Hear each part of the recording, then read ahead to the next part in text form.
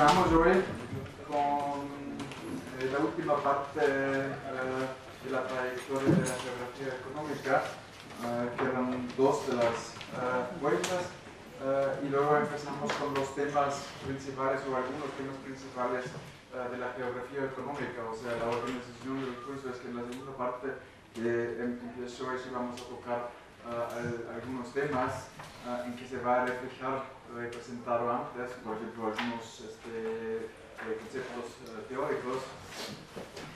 Ah, obviamente no se puede tocar en un curso de 8 días de 44, eh, 24 horas todos los temas que se, eh, hoy en día se trata de geografía económica. Por eso es una selección de temas que a mí me parecen eh, los más importantes, pero eso siempre ah, también tiene algo subjetivo. Eh, voy a, ofrecer una introducción conceptualmente ah, en cómo nosotros vemos eh, la ciudad y en, particular su papel ah, en el desarrollo económico. Luego voy a presentar el debate sobre las ciudades globales, que digamos, es un, por un lado es un debate bastante ah, actual, por el otro es un tema ah, en que yo estoy trabajando empíricamente. Algunos de ustedes quizás lo saben que yo es- desde hace mucho tiempo estoy analizando la Ciudad de México como ciudad global y como un nodo en la economía global. Esta parte también tendrá algún material empírico para que no sea solamente todo el tiempo ah, conceptual. Ah, y finalmente eh, un poco eh, alguna información eh, sobre la Ciudad de México. Bueno, ayer ah, en la presentación de las corrientes en la geografía económica, la primera fue la geografía económica como ciencias espaciales y aquí nada más que para resumir la cita esta de, Hegel, ah, de Asimov, ahora den Pies Zahlt, o sea, la idea de que el mundo social y también físico tenga un orden, un patrón geográfico y hay que buscarlo para luego eh, analizarlo y eh, sacar conclusiones. En la geografía marxista, eh, la propuesta principal es que la producción de espacio, o sea, el espacio no es dato, sino es un producto social y esta producción social eh, del espacio es un elemento clave, un elemento integral ah, en la reproducción de la economía capitalista, que también significa, por supuesto, en la reproducción de sus desigualdades. Dos puntos o dos temas relacionados con la geografía, con espacio ah, producido, es la expansión geográfica y el otro sería el medio ambiente construido. Eso es un tema que vamos a retomar hoy en relación con las ciudades. La nueva ah, geografía ah, económica de- relacionada con el nombre de Paul Krugman eh, continúa en, en- en la metodología de los economistas, intenta modelar ah, fuerzas tanto centrípetas como centri- centri- centrífugas ah, en demostrar o analizar el proceso de aglomeración, o sea, realmente cómo una aglomera- aglomeración se desarrolla. Por punto de vista eh, de las ciencias eh, económicas, eh, el modelo de Krugman sí presenta un avance, pero como él mismo concede por punto de vista de geografía económica, el avance no es tan grande, por ejemplo, y principalmente por mantener la, la técnica de modelar la compresión de espacio no llega a una compresión que nosotros en geografía. Y finalmente, en cuanto a, las vueltas o, turns eh, en, inglés, em, se observa un- un- una reorientación, reorientación hacia las prácticas, eh, rutinas, ese es un término que utilicé ayer, instituciones, o sea, rutinas llevan a institucionalizarse, forma- forman instituciones, tanto formales como informales, y estas instituciones tienen un impacto importante en la trayectoria económica y por el otro el enfoque en lo regional o local surge porque estas instituciones siempre están aterrizadas en localidades concretas.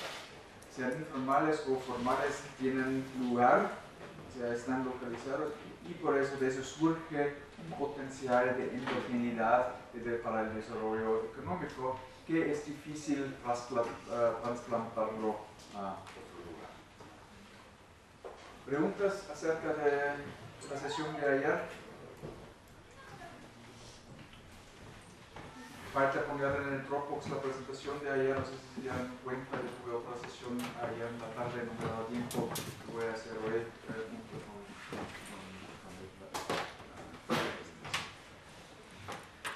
Bueno, el, el próximo uh, turn uh, en, en, geografía y geografía económica uh, es la vuelta relacional o hacia lo relacional y aquí tenemos tres ideas claves que son. Uh, la primera es, y eso ya mencioné en el primer día, recuerden cuando hablamos de lugar, del término lugar, que no se puede entender la importancia de un lugar sin tomar en cuenta las relaciones, por ejemplo, el lugar de sitio London, uh, o sea, el centro financiero del mundo, sin las relaciones que se daban históricamente y actualmente. Aquí la propuesta es toda acción económica se desarrolla en relaciones entre actores.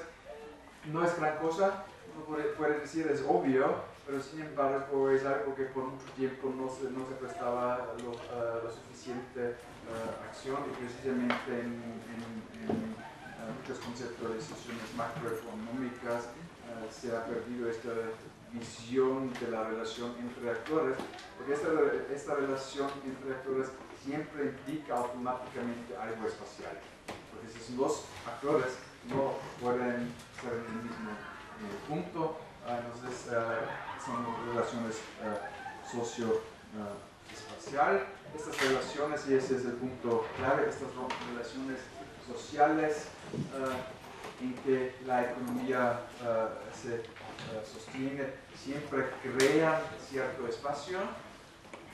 Y aquí otra vez el tema de la producción del espacio y recuerden que ayer les dije que aunque la idea de la producción del espacio surge con la corriente marxista. Hoy en día es una noción que muchos comparten, uh, también muchos no marxistas uh, comparten la noción que el, esta, uh, que el, el espacio sea producido. Como dicen padres de Klückler, es un libro de texto sobre la geografía económica relacional muy conocido. Economic actors themselves produce their own regional environment o sea, los actores económicos mismos son los que producen uh, el espacio. Y esta noción, por supuesto, también tiene una connotación histórica, que los espacios que construyen están en proceso, porque cambian los actores, por ejemplo, eh, el intercambio de una empresa de aquí uh, con otra empresa se hace más fuerte o cambia la empresa con la cual tiene intercambio. Entonces los espacios económicos también están en un permanentemente eh, en un cambio. Y esta idea de que los actores creen sus propios eh, espacios tiene tanto una parte física, o la infraestructura física, por ejemplo, de la cual hablamos ayer, como una idea mental. Si recuerdan eh, el, el, mapa mental de Zócalo, pues yo tengo una, una estudiante en el doctorado en Hamburgo que está mapeando eh, los mapas uh, mentales de uh, lo que ella llama uh, la clase transnacional, o sea, dirigentes de empresas transnacionales o funcionarios muy altos, y ellos están mapeando con quién en sus negocios tienen contacto. Surgen, por supuesto, mapas que están muy enfocados en algunas ciudades, otras partes del mundo, mundo prácticamente son ausentes, Ah, pero también se ve que estos mapas cambian.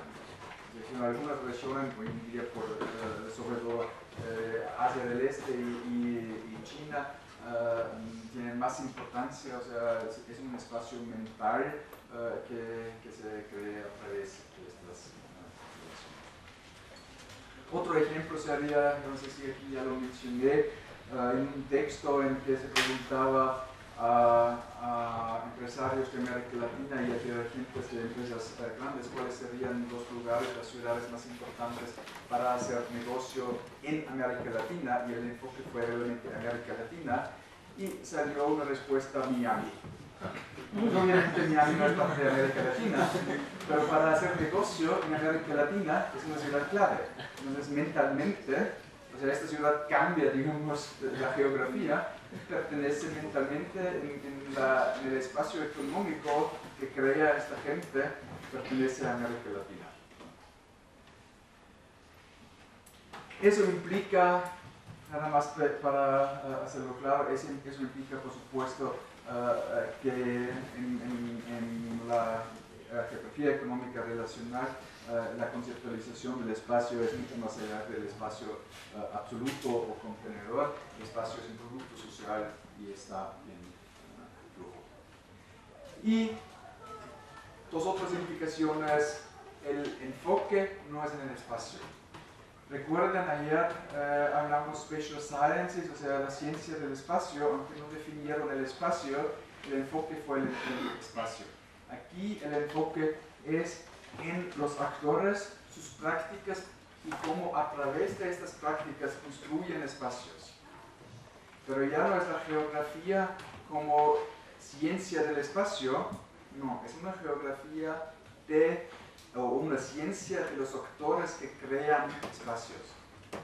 Y otra vez repito, porque eso es importante, que esta perspectiva surge con el marxismo o con Lefebvre, hoy en día ya está aceptado por muchos que no, o sea, Pablo Kupfer no tiene nada que ver con, una perspectiva marxista, pero sí esta noción que el, enfoque de la geografía debería ser en las prácticas sociales de, en este caso, actores económicos y cómo ellos construyen espacios.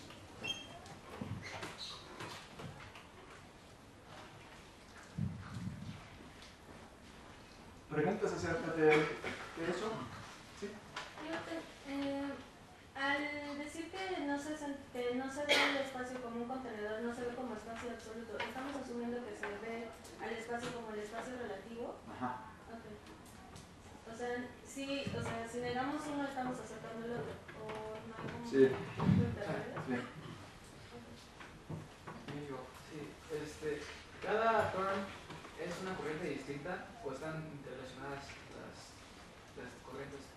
bueno, eh, como mencioné ayer, son, son muy interrelacionadas este, eh, las primeras dos uh, de, de, path dependency, o sea, dependencia, o sea, la economía, la geografía económica inclusionista e institucional tienen muchísimo en común.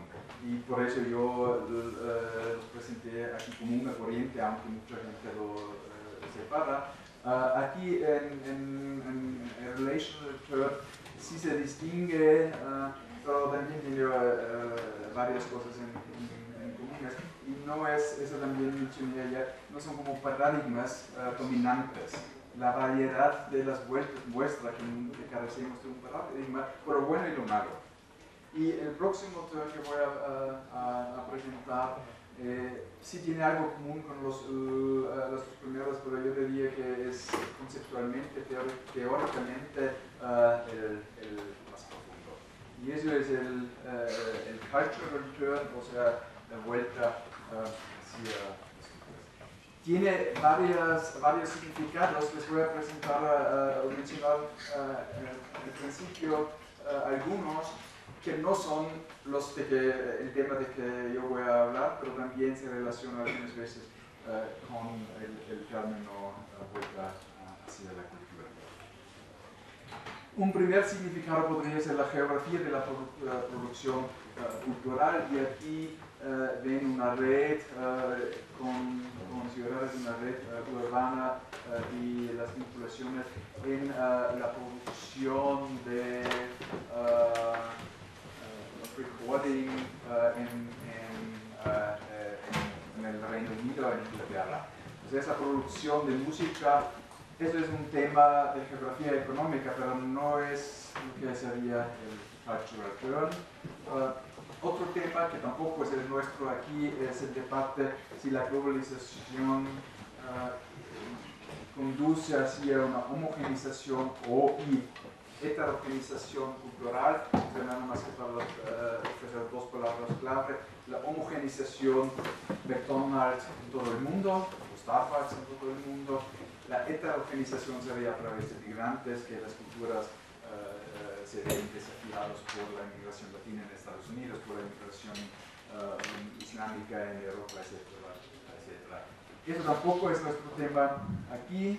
Uh, un tercer tema que ya tiene más que ver con lo que voy a hablar al rato es lo que algunos llaman capitalismos culturales, o sea, la búsqueda de factores culturales en el fracaso o éxito de ciertos grupos de migrantes, por ejemplo, las redes chinas en Estados Unidos sería un, ejemplo uh, para explicar la trayectoria de grupos diferentes.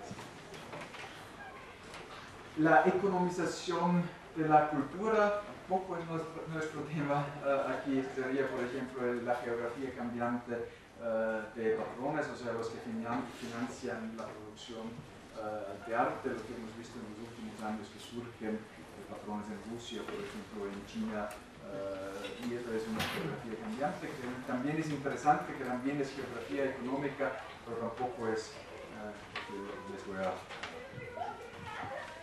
Ahora sí nos acercamos eh, al, al, al, tema, la cultura, culturalización de la economía, o como se dice en un libro muy famoso de Subkin del 1991, Landscapes of Power.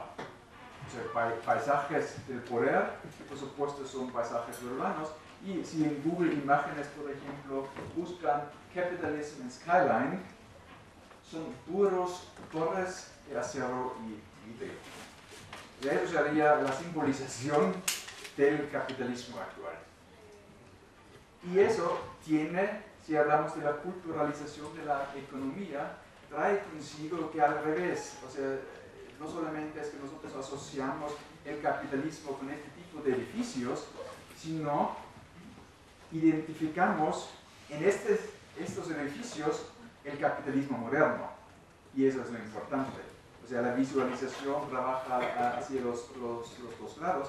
Si ustedes pasan por la Torre Mayor, conociendo, sabiendo que está adentro no, tendrán otra imaginación de economía si pasan en una, una oficina o un edificio de oficinas de los 60 o 70 en insurgentes. Automáticamente uno vincula eh, el sector financiero, eh, lo moderno con estos eh, edificios. Y eso es parte de la culturalización la economía. Como mencionamos ya ayer en lo que algunos llaman la nueva economía o la economía de conocimientos, todo gira alrededor de factores socioculturales. Aprendizaje, innovación, creatividad. O sea, esos son, son, son, temas soft o suaves que tienen mucho que ver con aspectos sociales eh, culturales. Eh, por ejemplo, yo no sé si Richard Florida uh, está conocido aquí, uh, es un, un uh, surge de planificación urbana, creo, y se ha hecho realmente famoso y conocido con, con su tesis de que ciudades abiertas atraen o sea, su tesis es la tesis tradicional es people follow jobs, o sea, hay, uh, hay trabajo y la gente migra hacia el trabajo. Su tesis es al revés, jobs follow people, uh, o sea, tenemos una ciudad que tenga un potencial innovador y de eso surge el trabajo y el trabajo nuevo, la innovación. Y para, para hacer una ciudad atractiva, um, uh, Florida tiene los, tres T's, tecnología, supuesto tecnología alta, talento y tolerancia. Y por lo menos el segundo y el tercer término clave tiene mucho que ver con cultura. La formación de, de, talento es una cuestión de educación, es una cuestión de ambiente, y tolerancia, por supuesto, también es una cuestión social.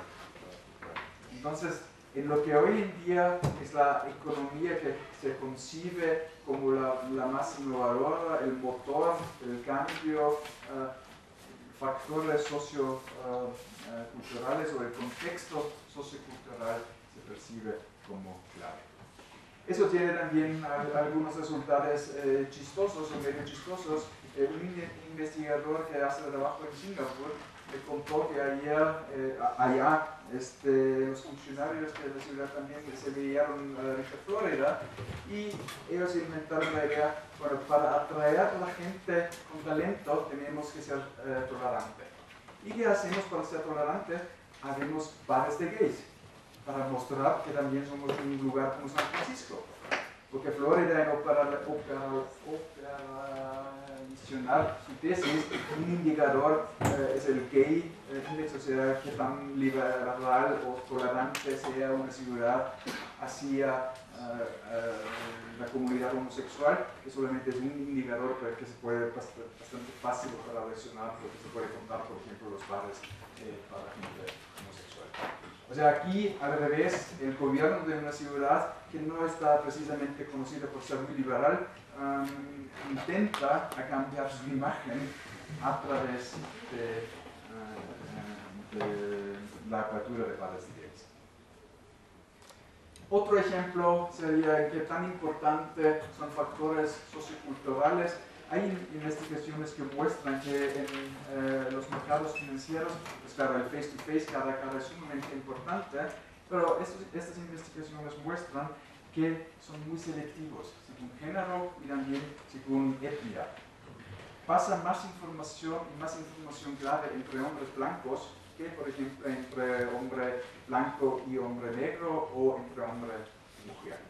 Y eso, por supuesto, está agregado en prejuicios socioculturales, pero tiene un impacto enorme en lo económico, porque si, si, recibes más o menos información o más antes, una hora, dos horas, un día más antes en el, mercado financiero puede ser decisivo sobre tener éxito uh, uh, Tercer ejemplo es otra vez este, surge de mis propias investigaciones. Um, las empresas del servicio al productor, o sea, los contadores, los abogados, servicios financieros, etcétera, uh, ellos, muchos dicen, mira, a nuestro nivel y el nivel de las empresas grandes globales que operan en, en, las ciudades grandes en el mundo, y eh, la gente con la cual yo me entrevisto me dice, a nuestro nivel eh, el, el, nivel profesional está por dado, aceptado. O sea, el cliente asume que nosotros sí dominamos eh, los asuntos legales o de, de impuestos o lo que, lo que hace la diferencia entre una empresa o la otra son las habilidades sociales, o sea, la, la capacidad de crear una cercanía cultural con el cliente. Les voy a leer aquí cita.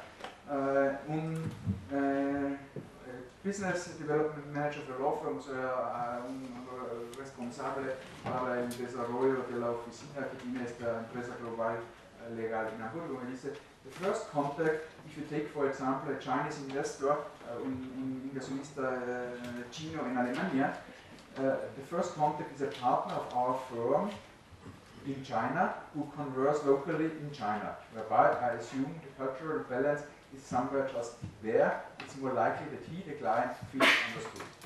O un, un, inversor, un inversionista chino que al invertir en Alemania compraba una empresa. El, el contacto se hace a través de un socio de esta empresa, no en Hamburgo, sino en Shanghai o en Beijing.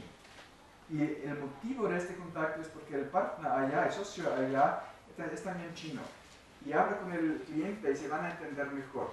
Y una vez establecida la relación, el negocio pasa al socio en Hamburgo, porque este socio en Hamburgo sabe mucho más del caso real, o sea, de la inmigración real, de las leyes en, en Alemania, etcétera, etcétera.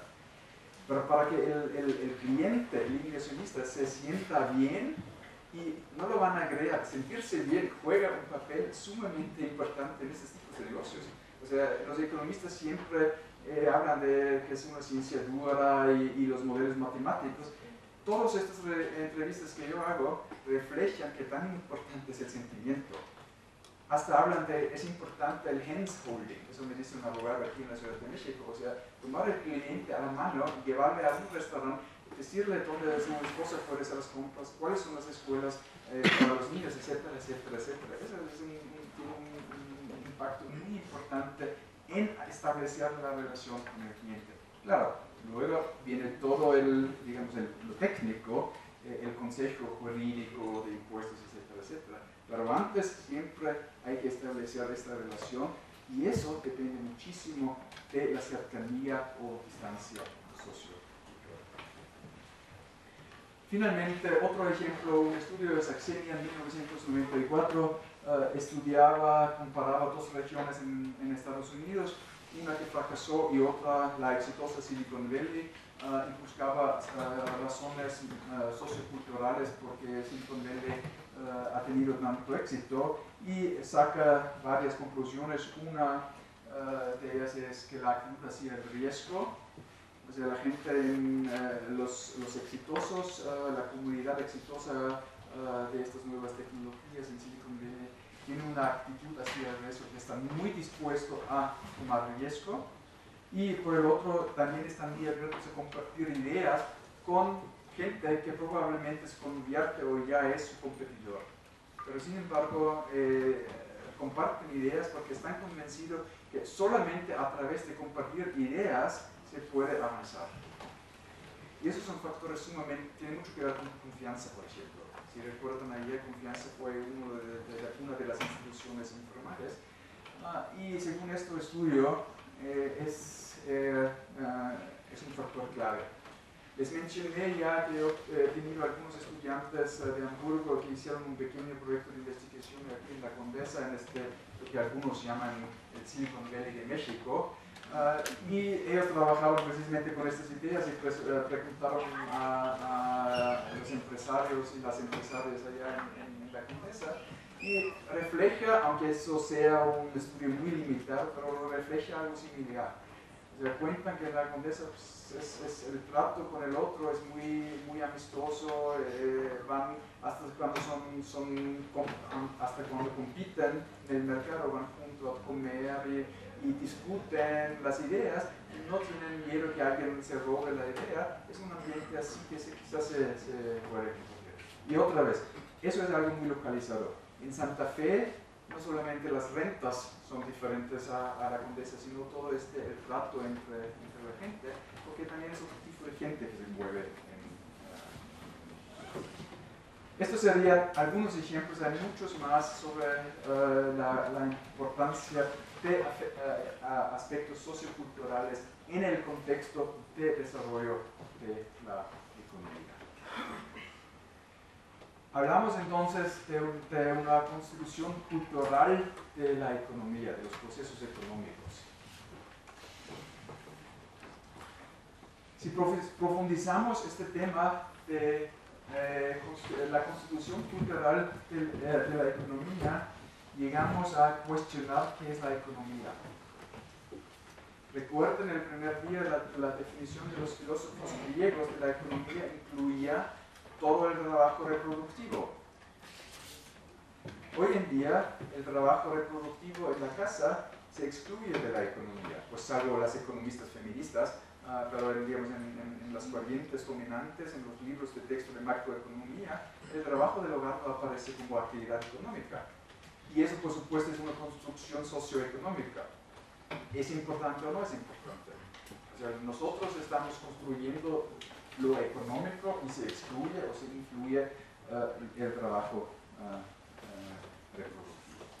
Entonces, lo que es la economía también, o lo que nosotros entendemos como economía, como económico, también surge de prácticas socioculturales. ¿Sí? ¿Sí me explico? Y eso, por supuesto, tiene muchas consecuencias. La primera sería cómo medimos la economía. El indicador que todos nosotros utilizamos es el PIB. Pero el PIB surge de una conceptualización sociocultural y lo económico que excluye todas las actividades que no sean mercantilizadas. Criar niños, utilizar el medio ambiente, etc. lo importante, aquí no digo cuál es mejor, sino solamente quisiera mostrar o, llamar la atención al, hecho de que lo que algo como asumimos muy natural también es una construcción sociocultural ah, y eso tiene impactos en la práctica de investigación. Como dice Shepard, eh, probablemente uno de los uh, geógrafos económicos más uh, reconocidos de Inglaterra, shared discursive understandings that make certain kinds of actions normal and others strange. Y eso precisamente es la construcción sociocultural. Algo nos parece normal y algo nos parece extraño. Pero eso, claro, eso no es natural, eso es una construcción social y lo que parece extraño en 15 días o en 15 años puede ser normal, mientras lo que hoy día es normal en 15 días o en 15 años puede ser lo más extraño que uno imaginaba. Un ejemplo, después de la Segunda Guerra Mundial, en, en, Estados Unidos y en Europa, pero más en Estados Unidos, la idea de un mercado libre, de un Estado que no intervenga en la economía, fue lo más extraño que uno podía imaginar. Después de la Segunda Guerra Mundial fue el common sense, el sentido eh, común que el Estado debe intervenir en la economía. Hoy en día esta idea se ha vuelto algo extraño, con todo el neoliberalismo, pero ven que hasta estas ideas claves en lo económico son, son construcciones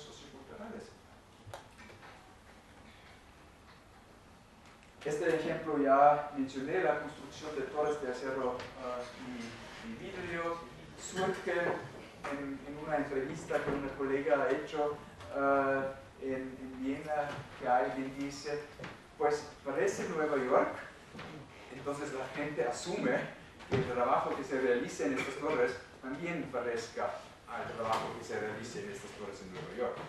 Y eso es, una, por supuesto, una sugerencia uh, uh, cultural. El PIB también he mencionado, y no que piensen que es un tema, eh, digamos, de, grupos marginados en, la economía, como eh, economistas feministas. Stiglitz, eh, en, este libro de Class of Inequality, está mencionando que el PIB es un indicador que no tenemos por el momento un mejor, pero es un, indicador muy, muy débil. Ah. Voy a darles otro ejemplo de, los mercados financieros. un ejemplo fue eh, que la comunicación se estructura por factores de género eh, y de etnia. Aquí eh, es el próximo ejemplo sería más en cuanto al discurso. recuerden, ayer mencionaba como el contexto social que en todo lo que es poststructuralismo, postmodernidad, presta mucha, atención al idioma, a la construcción social a través del idioma de la realidad y en esta investigación que me parece sumamente interesante de una geógrafa económica uh, británica, cómo los actores en el mercado financiero de Londres están construyendo a través de su idioma cre credibilidad. Dice aquí, es, es la cita, I argue that London's corporate finances respond to uncertainty. Uncertainty uh, aquí tiene doble uh, sentido. Por un lado, la inseguridad del mercado mismo pero por el otro eh, los debates sobre el mercado financiero, o sea que mucha gente eh, no tiene confianza, aunque esta investigación se ha hecho antes de la crisis de 2007-2008, ah, o sea que siempre eh, sienten esta gente en los mercados financieros que tienen que justificarse, que tienen que buscar una explicación de lo que están uh, haciendo. By constructing, perdón, by constructing a, a rhetoric of scientific rigor, around the use of quantitative financial narratives. Eh, y muchos de estos eh, narratives, o, o, o, sea, cuentos, eh, son, eh, de hecho, son modelos matemáticos. That they then use to legitimize the use of such techniques to both colleagues and clients. O sea, lo que dice, en, en, resumiendo sus investigaciones, que en los mercados financieros se construye un cierto tipo de idioma es un, idioma sumamente matematizado, o sea, trabaja mucho con modelos, con gráficos, y utilizan estos gráficos para fingir o para demostrar, eso según gusto o según análisis, eh, un rigor científico. Y con este rigor científico intentan a convencer tanto a clientes que van a invertir como a colegas y a críticas.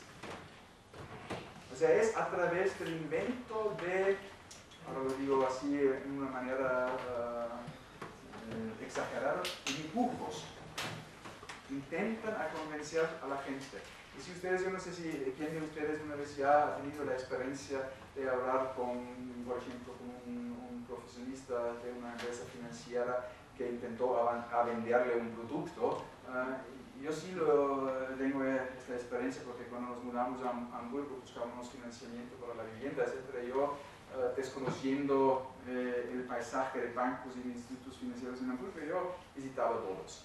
Uh, claro, te, te, muestran, te intentan vender productos financieros de los cuales vamos a hablar el día 7, creo que es el miércoles de la semana que viene, en, en, en el contexto de la crisis hipotecaria pero te intentan vender sus productos a través de un idioma y unos gráficos que son muy sugerentes.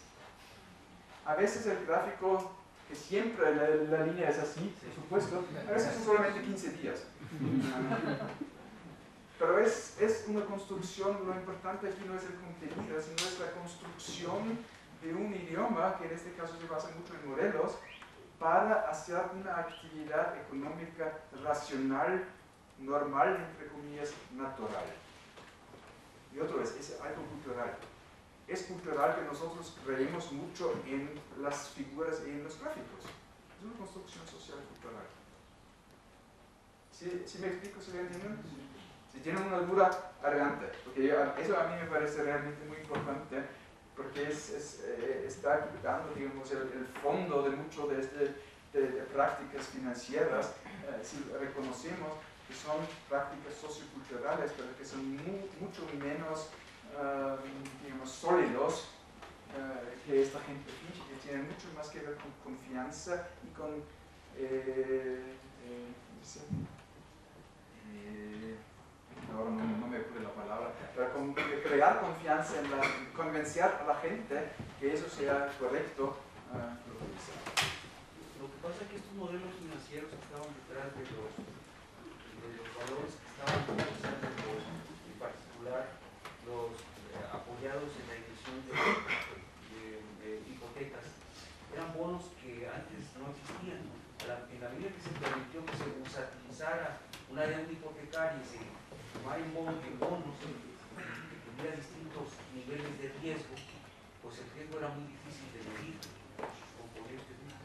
Y cuando le venden a uno ese producto financiero, como usted dice, no contemplaba la fórmula financiera que todo colapsara al mismo tiempo, o sea, la tasa de interés general, el rendimiento de otros valores, y le vendían a uno, para protegerla de una supuesta caída, un derivado financiero.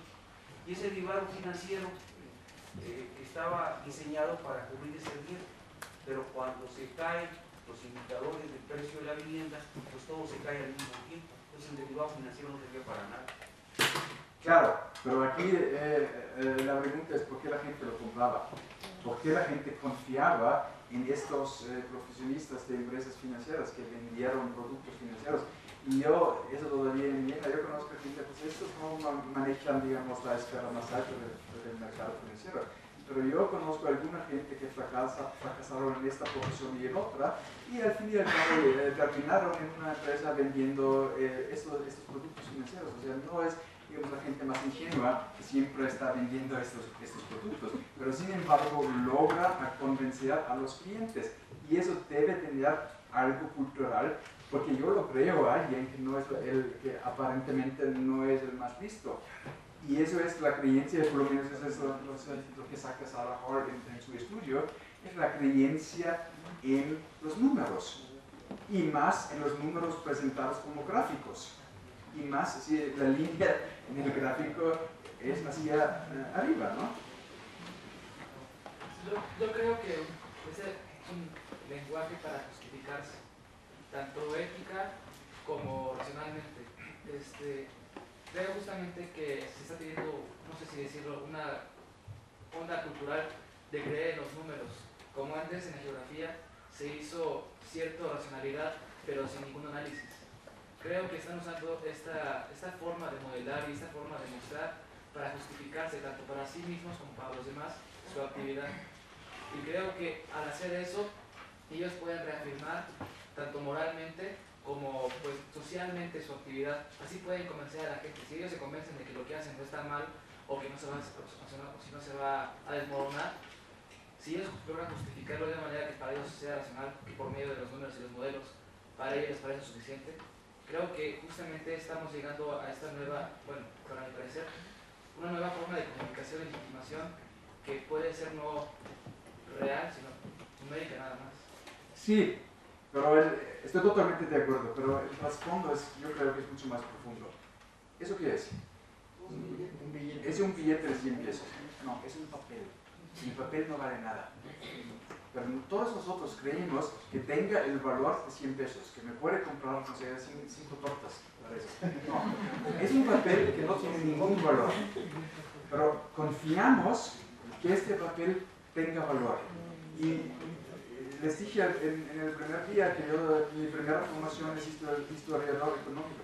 No fue de un día a que la gente empezaba a crear el papel. Y por eso la plata que los españoles sacaron de aquí, la plata ahora en, términos reales que sacaron aquí de las minas en, Zacatecas, ha tenido tanto, tanta importancia, porque con mucho dinero real, digamos con un valor real, se estimulaba el comercio en Europa no fue tanto el valor como tal que fue importante, sino la liquidez que daba a los mercados en Europa. Porque desde entonces solamente se empezaba con crear que papel tenga un valor. Y eso es confianza. Y eso es clave si queremos entender la crisis este, bancarias. Eso es clave para eh, entender la intervención de los estados eh, nacionales. Se recuerda del, prestamista de última instancia porque si todo el mundo empieza al mismo tiempo, o la mitad de la gente empieza al mismo tiempo, en desconfiar los bancos y van al banco, eso en inglés se llama un run. No, no sé cuál. ¿Una? Corrida. Una corrida. La gente retira su dinero y claro, el banco empieza, eh, eh, colapsa. Entonces el problema, como dice eh, Krugman en un análisis, pues Krugman tiene un, un lenguaje bastante bonito a veces, sabe formular el problema de un banco no es que tenga problemas. El problema de un banco es que puede haber chismes que el banco tenga problemas. Porque los chismes hacen la gente hacer una corrida. Y solamente con la corrida empieza a tener problema el banco. O sea, claro, hay bancos que antes ya tenían problemas, pero aunque no tenga problema, si todo el mundo va a retirar dinero, el banco tiene problema. Entonces, el punto clave del sistema financiero es confianza.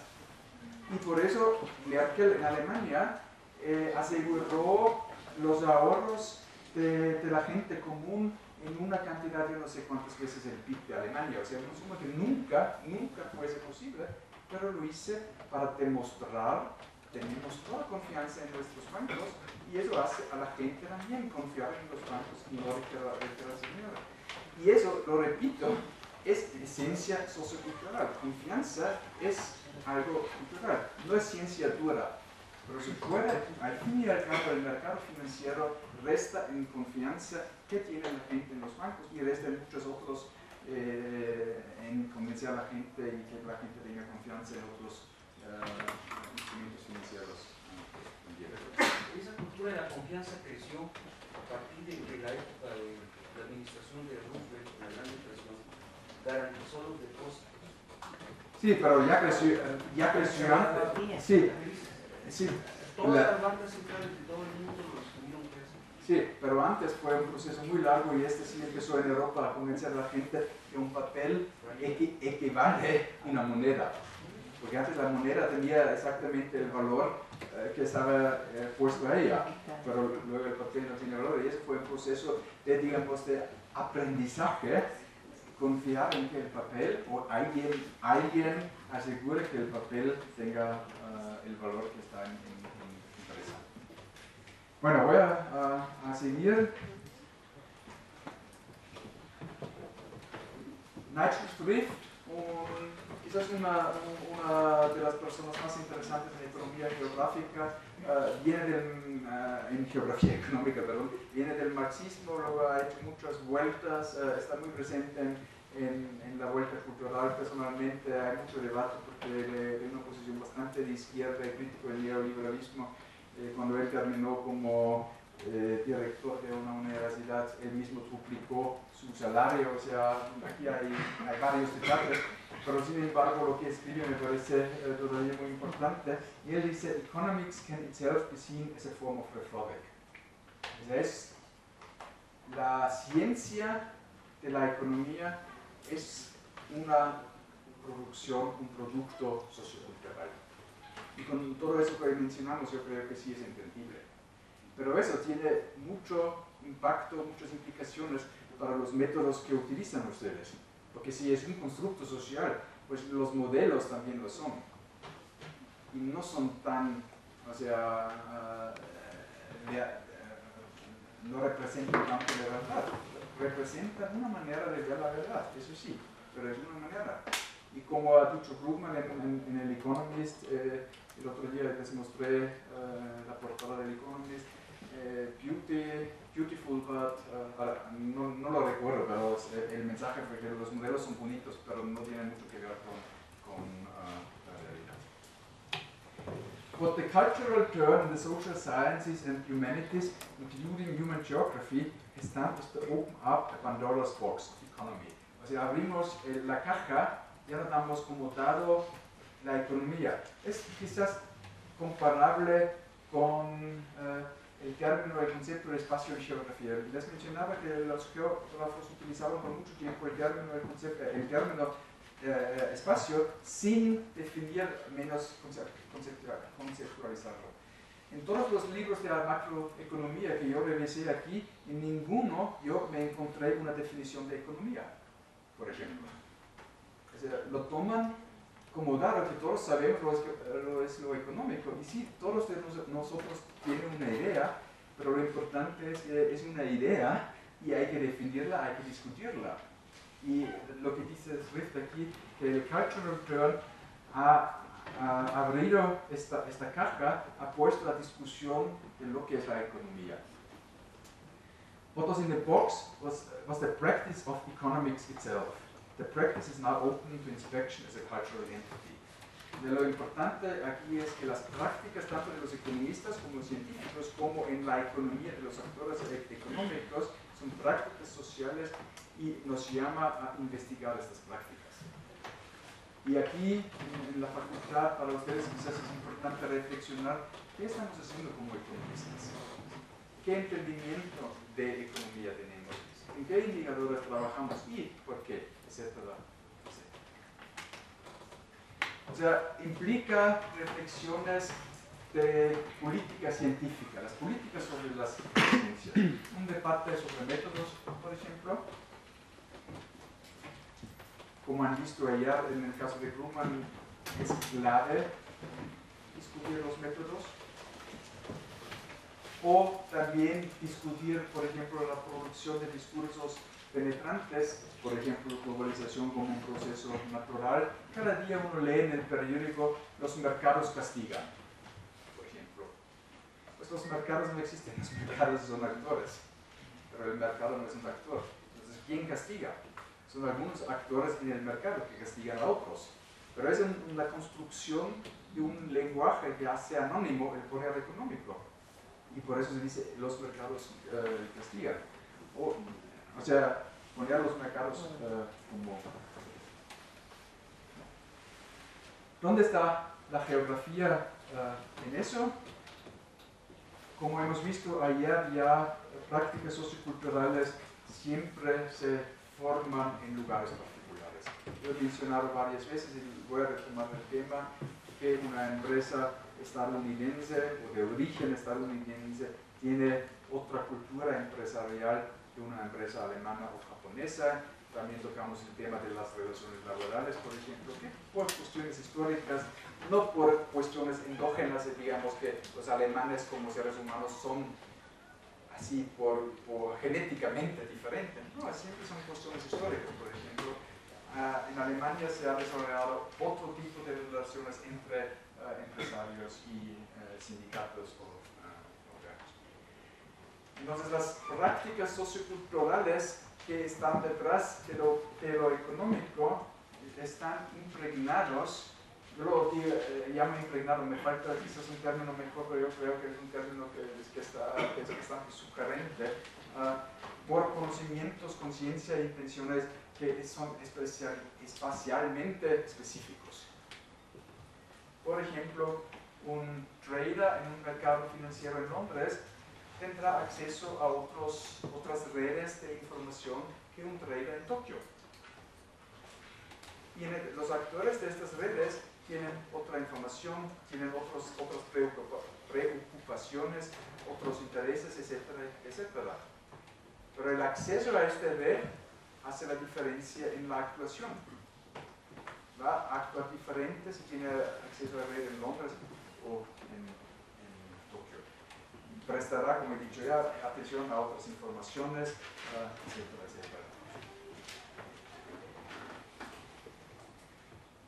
Otro ejemplo, uh, y eso se basa en, un estudio uh, de Eric Schoenberger, uh, de, hecho en, los años 90, la estrategia corporativa es una cuestión sumamente sociocultural.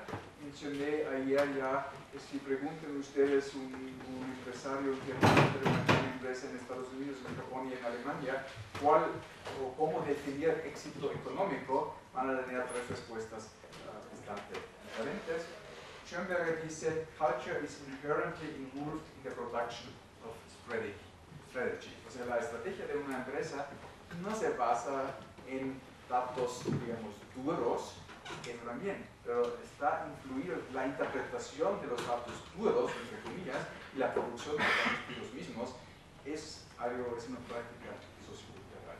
Y el ejemplo en que ella lo estudiaba y saca sus conclusiones es la empresa Xerox, uh, que en, en, los 70 en Estados Unidos fue prácticamente, tenía prácticamente un monopolio, tenía una participación en el mercado del 90%, uh, uh, por ciento, y según las entrevistas que ella ha hecho, eh, los gerentes de esta empresa estaban preparados a la competencia de Kodak uh, y de IBM y realmente se prepararon a esta competencia, hicieron varios eh, para bueno, eh, condujeron su estrategia hacia la competencia esperaba de IBM y, y, Kodak. Sin embargo, no se dieron cuenta que en Japón, por su propio sucursal, o sea, una empresa fundada como sucursal de Xerox, surgió la, competencia real, que eh, luego al principio se llamaba Fuji Xerox y luego lo conocemos como Fuji.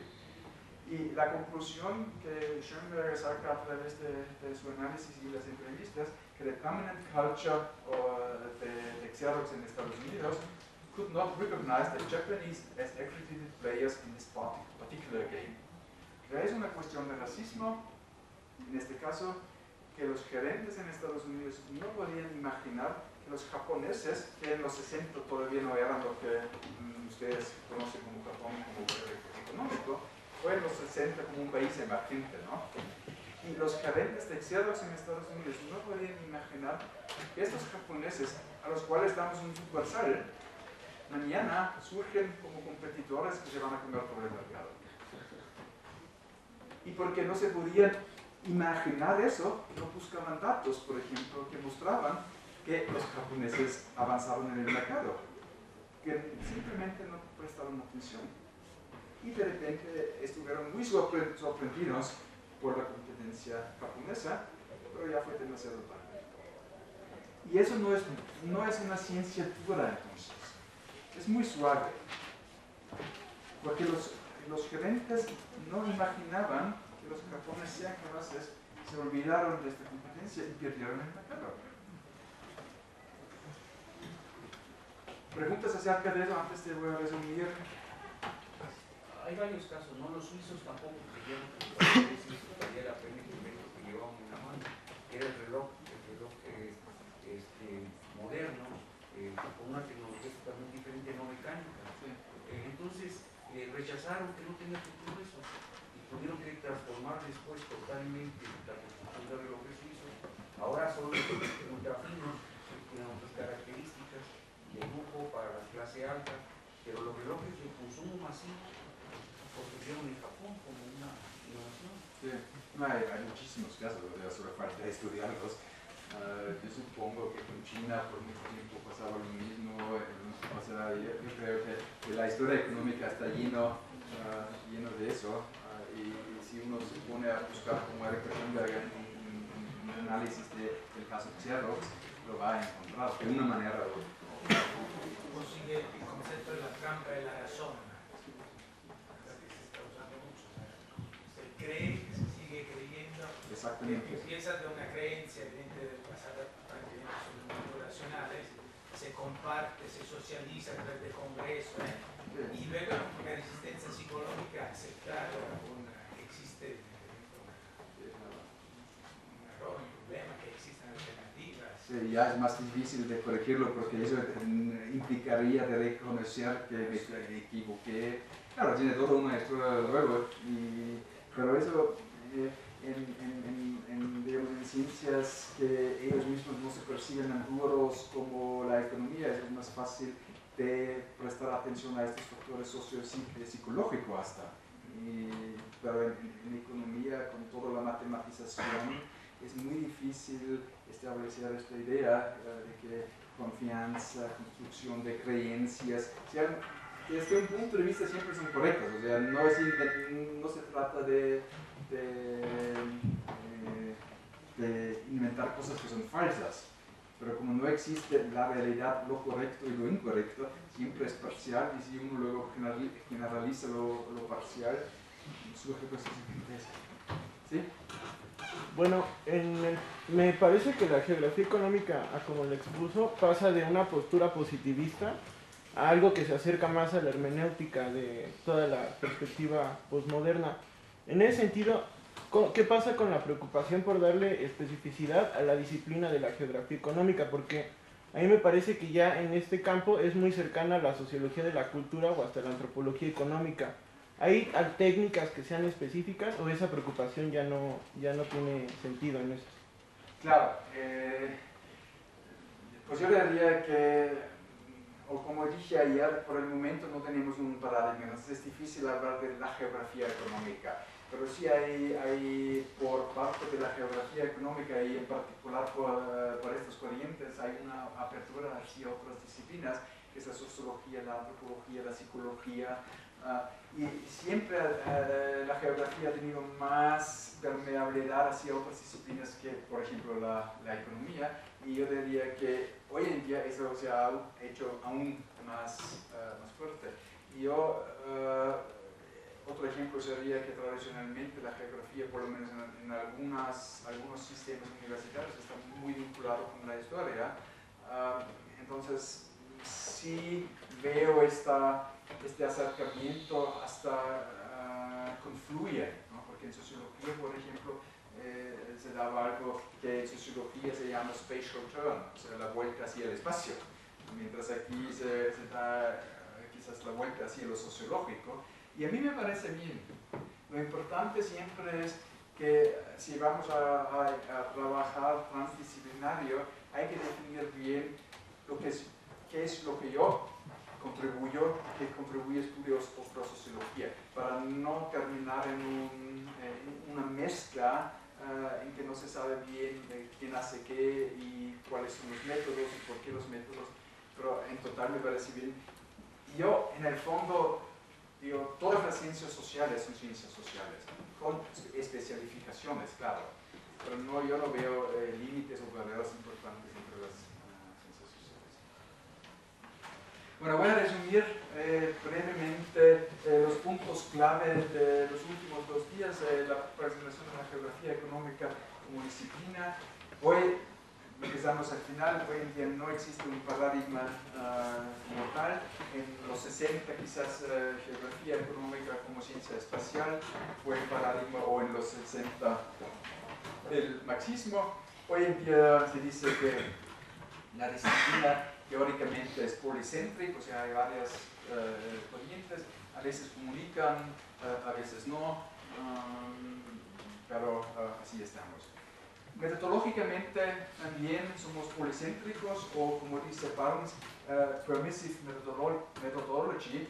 Eso significa que permitimos casi, uh, casi todo de sistemas de información geográfica hasta análisis de discurso. Eso por un lado me parece muy bien porque tenemos muchas herramientas para el análisis. El problema aquí es que hay mucha moda. O sea, la gente empieza con algo que se ha puesto de moda en sociología, para dar un ejemplo, trabaja tres años con eso y nunca llega a profundizarlo y aparece otra moda en otra disciplina y la retomamos. No digo que todos los geógrafos lo hacen, pero sí hay casos en que la moda, por ser tan abierto y transmisible, eh, falta a veces el rigor, no metodológico, porque sí dominan su metodología en el momento, falta, el, el rigor conceptual de definir por qué utilizo para este caso, en este momento, este tipo de, método. Pero por el otro, lo voy a repetir, ya les invité uh, con Laura Vázquez en agosto y en septiembre uh, impartiremos un, un, taller de dos días sobre métodos cualitativos y en particular la entrevista a la empresa como un método para economistas para generar conocimiento será un taller de dos días y lo anunciamos con el principio del próximo semestre, pero ya sé, eh, los, eh, los, y las que tengan interés pueden anotar, es el último viernes en, en agosto y el último viernes en. Sin embargo, a pesar de ser eh, policéntrico, yo diría que la mayoría de los geógrafos económicos trabajan teóricamente informado y empíricamente rico. Por ejemplo, hay, mucho, mucho trabajo ah, después de 2007-2008 sobre la crisis hipotecaria y, financiera que realmente cuentan, como se dice en alemán, cuentan las piernas de las moscas, o sea, hacen un trabajo empírico detallado, pero con mucho, con mucha conceptualización detrás. Y este, esta vinculación yo creo que sí sería algo característico para, en lo mejor, si realmente logramos en, lo mejor, algo característico para la geografía uh, económica. Segundo... Con eso entiende sin empirismo. Exactamente, sin empirismo. O sea... Uh. Sí, sí con muchos detalles empíricos, pero siempre con un trasfondo conceptual, claro que se puede discutir si es correcto o no. Uh, pero es, por ejemplo, sobre la crisis hipotecaria financiera, sí hay bastante, bastante trabajo de David Harvey, pero no en reproducir lo que había dicho, sino que en mostrar con datos y entrevistas, etc., la, lógica de esta crisis y la globalización de esta. Eh, Daniel Albarts, por ejemplo, se dio un ejemplo, yo creo que está en la literatura, en la lista de, El lugar siempre, uh, el lugar de espacio, uh, lógicamente, siempre tiene importancia y es en varias uh, dimensiones, dimensiones tanto a nivel escalar como dimensión, por ejemplo, la producción del espacio o el efecto retroactivo. Mucho, sobre todo hoy en día se hace mucho enfoque en lo local uh, regional, pero también en muchos casos con relaciones globales. Y otra vez me refiero, por ejemplo, a trabajos, análisis de la crisis uh, subprime o la crisis financiera, en que hay trabajos eh, muy localizados en la comunidad, donde sea, pero con los vínculos al sistema financiero uh, global. Entonces las relaciones y conexiones también son, uh, son importantes. La comprensión general es que lo, lo, local, lo regional y el flujo no son contradicciones, sino son dos caras de la misma uh, moneda, o sea, se condicionan mutuamente.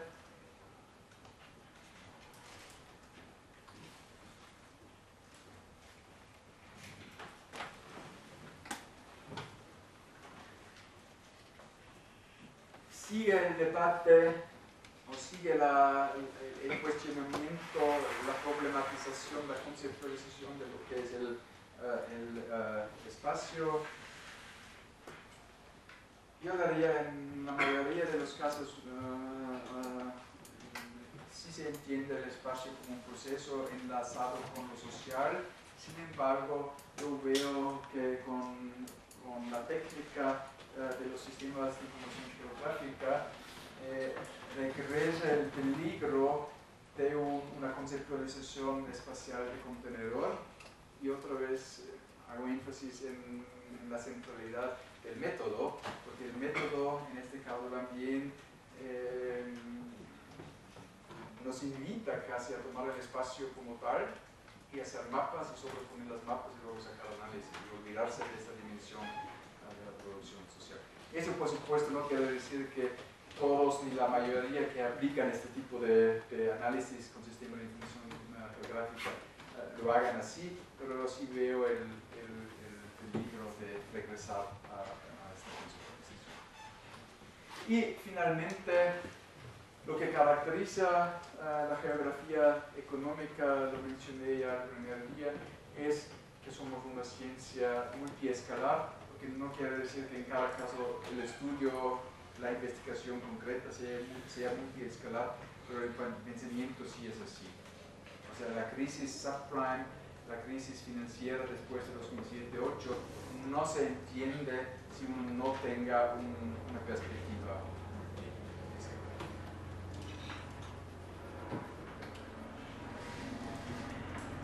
Segundo, ah, yo creo yo veo la preocupación por desarrollo desigual, en términos sociales como especiales, sí está en el corazón de la disciplina. Y yo diría, quizás hoy más que hace 10 años, aquí la, la, crisis de 2007-2008 sí ha provocado que, que sobre todo los jóvenes uh, empiezan a analizar uh, esta crisis y uh, sus resultados y también a través del enfoque urbano uh, el interés en desarrollo uh, desigual uh, sí está reforzado. Porque desarrollo desigual nos encontramos tanto en los clústeres, que todos están en favor, como en lo que Harvey llama la acumulación por disposición. Yo quisiera hacer énfasis aquí en, lo primero, y vamos a regresar a este tema de clúster o aglomeración enseguida con el tema de la ciudad. Donde existe aglomeración o clúster, debe existir lo contrario. Porque si no, o sea, si, si no hay periferia, el término y concepto de centro no tiene sentido. Aglomeración siempre tiene como resultado o como contraparte regiones que tengan menos. Y a esta diferenciación socioespaciales, son relaciones socioespaciales, relaciones sociales que se desarrollan a través de construcción de espacios, hacemos mucho. Yo diría en, el, en la comunicación entre nuestras dos disciplinas, la, precisamente por este enfoque en el desarrollo desigual, la mera existencia de geografía económica es una negación del postulado de la economía tienda a un equilibrio. Nosotros nos dedicamos más a analizar los desequilibrios, para llamarlo así, la desigualdad, la crisis, y eso por supuesto también es uh, mucha convicción que eso es parte del desarrollo económico desde hace mucho La relación con, no con ustedes, pero digamos con la relación entre geografía económica y, y economía como disciplina no es fácil y quisiera repetir que me parece muy valioso que esta facultad invita a un geógrafo económico y que realmente aquí se da esta interacción, este, este debate. Uh, sin embargo, en total no es fácil uh, por falta de rigor uh, metodológico, pues es algo que algunos economistas acusan a los geógrafos. Sin embargo, quizás el tiempo que vivimos con los procesos de globalización pudiera abrir puertas para un mejor uh, entendimiento, para mejor cooperación, porque como dice Barnes, globalization was made for economic geography, geographical study, and in the beginning it was economic geography. Recuerden la cita media larga del embajador de Chile en Saxonia que productos en sus alrededores que utilizaba de donde vienen, una geografía de mercancías. Although they did not use the term uh, Chisholm and Smith were students of globalization. That focus was lost, however, as economic geography became the study of only Western economies. La misma disciplina de geografía económica, el proceso que les eh, mostraba, que al principio fue estudio de análisis de globalización y, después se ha reducido a análisis de, de, economías nacionales. Y ahora otra vez con los procesos de la, de la globalización, con conceptos como cadenas productivas o cadenas de valor, estamos reabriendo la geografía económica para un análisis de economía global, que otra vez no siempre es global, pero si, analizamos un caso concreto en, un lugar concreto, tenemos la conceptualización que eso sea parte de un proceso mucho más amplio. Y con eso cierro el, eh, el, el, viaje, digamos, a través de la historia de la disciplina. Uh, quisiera darle la oportunidad si hay preguntas o comentarios breves después yo propongo que vamos a la pausa y regresemos con el a, a, mí me preocupa el tema del límite de la geografía económica. El límite de la geografía teórico, porque eh, parecía que era muy importante cuando ciertas etapas del desarrollo del capitalismo, con la industrialización, con el colonialismo, eh, etapas donde se crean las grandes eh, eh entidades con los agentes económicos de dominio del mundo, interesaba mucho el concepto de frontera de recursos, recursos culturales. Pero si uno analiza, esos también no son conceptos estáticos, dependen mucho del avance científico y tecnológico.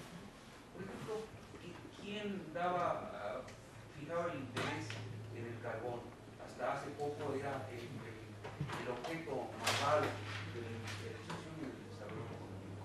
Entonces, sin embargo, el avance científico y tecnológico, precisamente en Europa, muestra que un derivado tan simple está conteniendo gases y gráfico y ahí sacaron una nueva cualidad de, del carbón, pero usando tan nanotecnología pequeñas laminitas eh, a nivel de, átomos que tienen otras cualidades que no tiene el carbón como gran masa.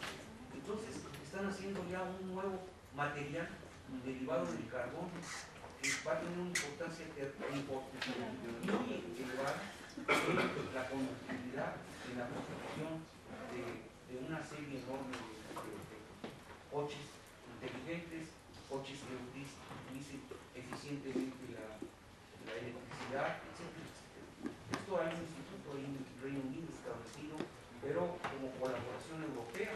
Entonces, eh, lo que creíamos que ya no sirve para nada, por ejemplo, las tierras raras que aquí les vendíamos a China por barco, era, tierra o lodo de, Oaxaca, pues contenían este, tierras raras.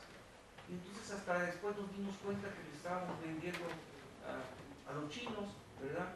Materiales radioactivos y. La, pregunta es, qué está? ¿Cuál es el límite? El, pero el límite de, pues el límite de la geografía económica. Pues yo diría que... expandiendo. La frontera de la física y fue importante el desarrollo del capitalismo. Pues yo, yo, entiendo la pregunta en dos sentidos. El límite de la geografía económica como disciplina eh, es muy abierto y eso está bien. Yo creo que siempre debe haber un, un, un enfoque, como definía el, al principio la disciplina, un enfoque en el papel del espacio entre eh, paréntesis, el espacio construido en procesos de economía. Y en procesos económicos yo definiría muy amplio, o sea, no solamente los procesos del mercado, sino también incluyen la producción caseada, eh, el uso de naturaleza, etcétera, etcétera. Eso, eso para mí me parece bastante claro. La segunda dimensión de la pregunta, como yo lo entiendo, sería el límite de la producción económica en el espacio, y eso ya es mucho más, eh, más difícil, no creo que ni tengo eh, conocimientos suficientes para responder la, la, pregunta ni el tiempo, pero todo el debate del límite ecológico para la producción, y eso es algo que usted creo que hace alusión a, es, es bastante difícil, porque se, siempre se crea estamos a un límite y luego se inventa otra cosa. Por el otro, sí parece haber límites ecológicos, uh, el calentamiento de la, de la, atmósfera, por ejemplo, sería un caso que sí nos pone límites, pero no quisiera hablar sobre temas en que no me siento muy o suficiente informado para estar aquí, aprovechar aquí eh, la posición del presentador para